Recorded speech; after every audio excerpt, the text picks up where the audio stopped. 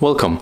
If you want to transfer data from Huawei smartphone to your Oppo Reno 3 Pro, for the first you have to go to the Google Play Store and get application to transfer data. I recommend you to download application named CLONEit because it's totally free and really easy to use.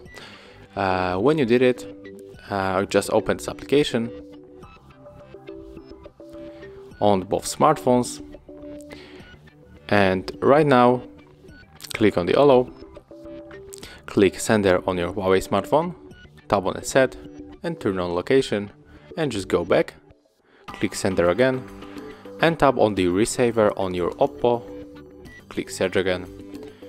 And right now we have to wait a little bit. Click on the Android share icon. This is our Huawei. And as you can see, we have two ways to connect. The first one is to scan the QR code and the second to input the password you can find this password right here. In my case, I'm going to grab the phone and scan QR code. And right now they are connecting, so we have to wait a little bit.